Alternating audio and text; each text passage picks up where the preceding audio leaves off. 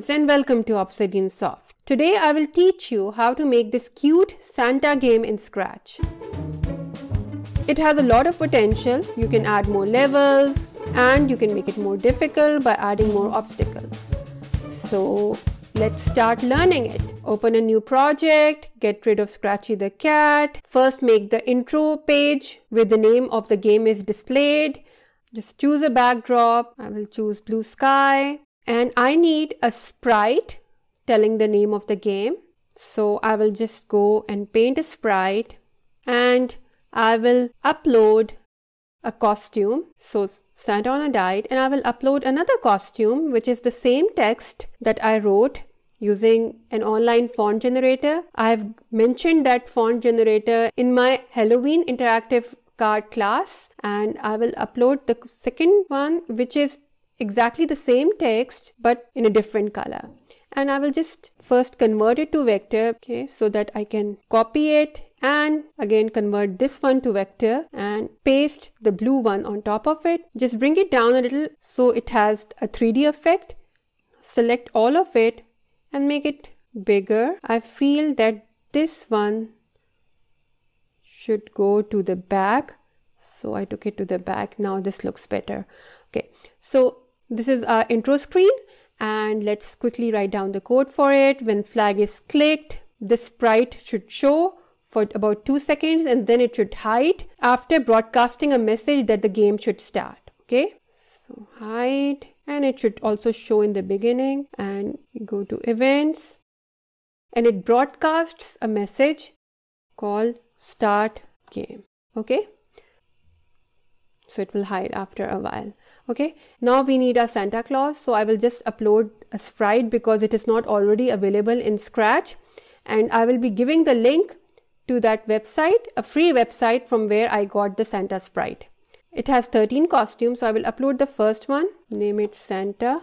And then I will go to the costumes and upload all the remaining costumes. And I've already taught you how to use such costumes to make the walking animation in my zombie chase game. So I will quickly show you how it has been done in this game because I want to spend more time on the scrolling background part of our game. Okay. So I have changed its size to 45. When the right arrow key is pressed, it first points in direction 90. That is, it points in this direction and 13 times because we remember we have 13 costumes and 13 times it shifts between these costumes, next costume, and then it changes x by 3. That is, the costumes are also changing and it is also moving towards the right.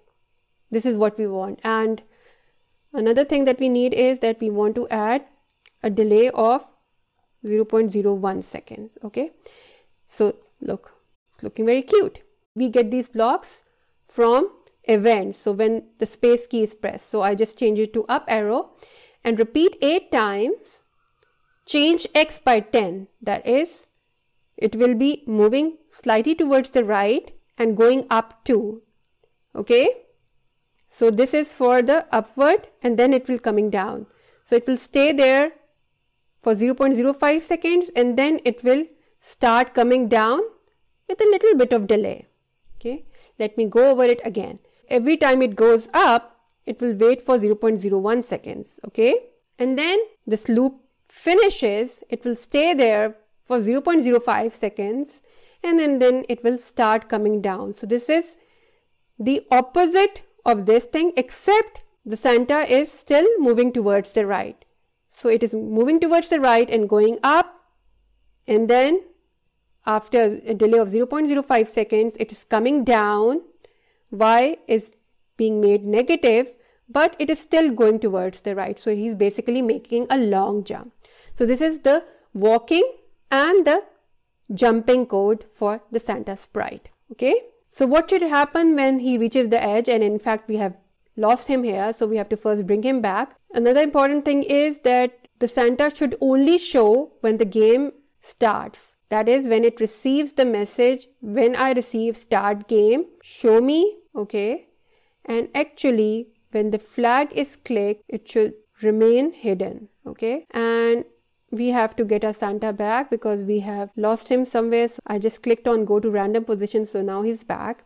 And look here. So this is a good starting point for Santa. Okay. We don't want him touching this edge because if we make the starting point with him touching the edge already, we will not be able to sense this edge.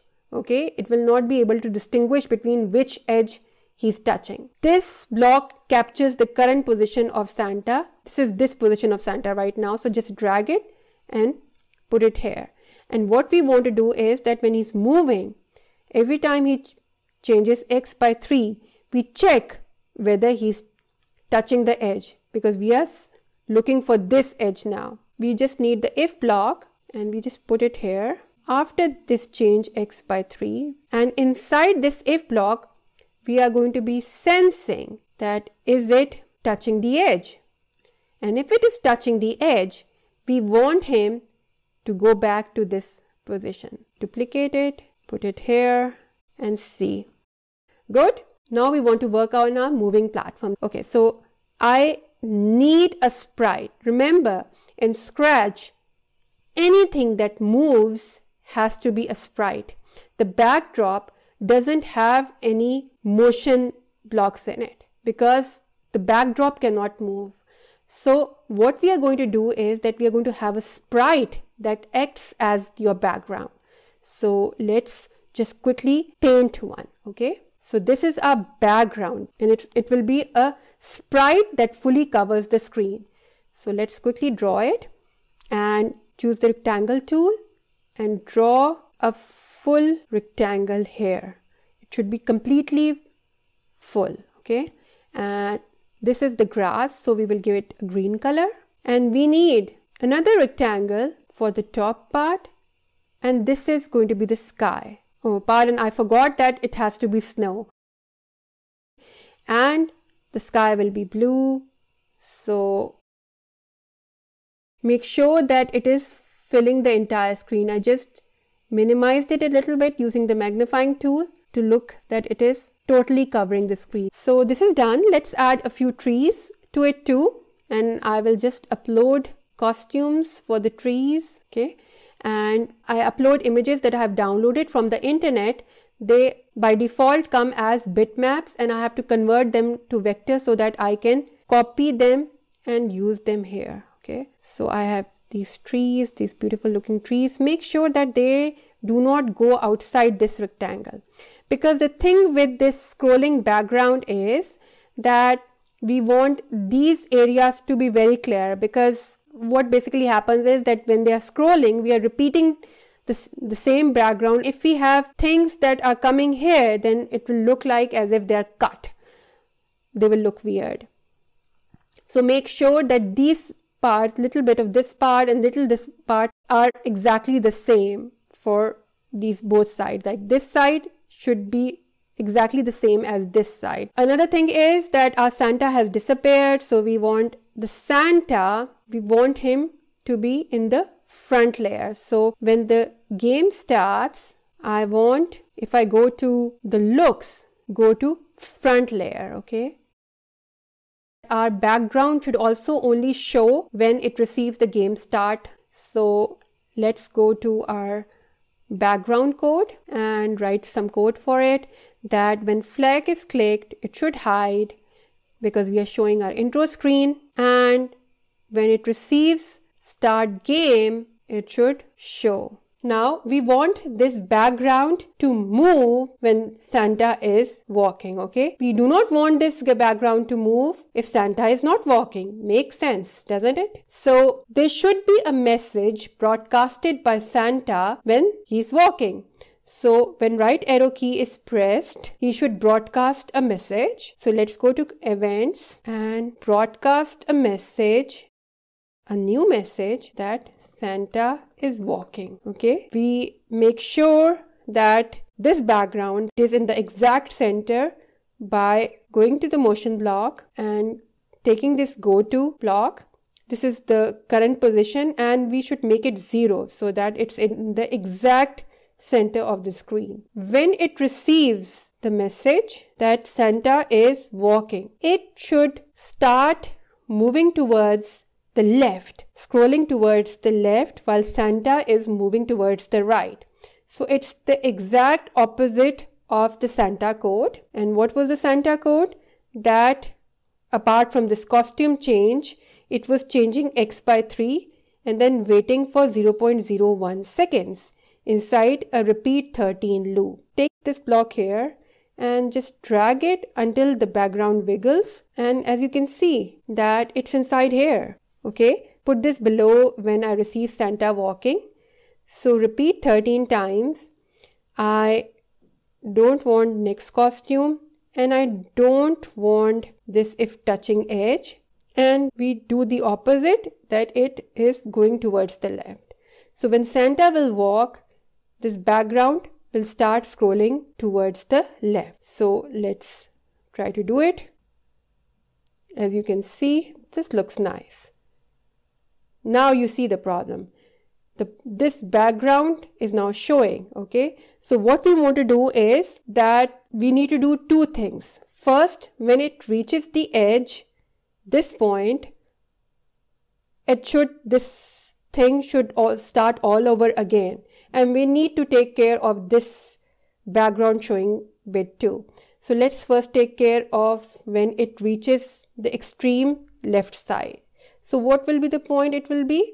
If I just drag it, start taking it towards the left manually. So when it reaches x is minus 584, so when x is less than minus 583, we should bring it back to this position, okay? Which is 583, the opposite side, okay? So after this loop finishes, I have to check whether it has reached this extreme point. And we know that when it reaches the extreme point, x is something around 5 minus 584. So I'm just going to use an if block from control and if we are going to use an operator if it is the x position. We go to the motion blocks and we get the x position by using this. And if x is less than minus 583, because remember this is a negative number, so minus 584 is actually less than minus 583. So we want to capture minus 584. So when x is minus 584 that is less than minus 583 we want it to start from here okay so we are going to go to what position this will be, stay 0 and our x will become 584 let's try it out and let's see how it goes so see it is sliding towards the left and as soon as, as it will reach that extreme edge, it should come back. See, now it's back, okay? But this part is showing. So to take care of this background, what we have to do is we just duplicate this. And when we duplicate it, what we want is that our second background always starts from where x is 584. So our first background is filling up the entire screen when it is at x0 and y0, okay? And when it is here, the second background is somewhere here. So when it starts sliding towards the left, the second background takes care of this backdrop that was behind, okay? And when our first background will reach this edge, it will start from here. So it will take care of the entire scrolling. Let's test it out. So our background is moving. And see, this is now the second background that is scrolling. Okay.